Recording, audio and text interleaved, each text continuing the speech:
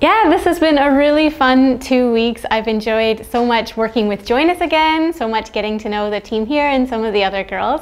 Um, this product, I really did like it. And one of the things I really liked is I do actually travel for work sometimes. And so I take my skincare with me wherever I go.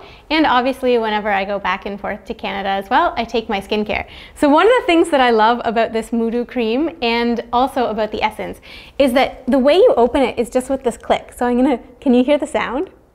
Just like that. So that tells you that it's open and you can start using it, or that tells you it's closed. So you always know 100% of the time if it's in your bag or in your purse or whatever, it's not gonna spill. You can trust it won't spill or make a mess, because once you hear that, that means it's open and that means it's closed.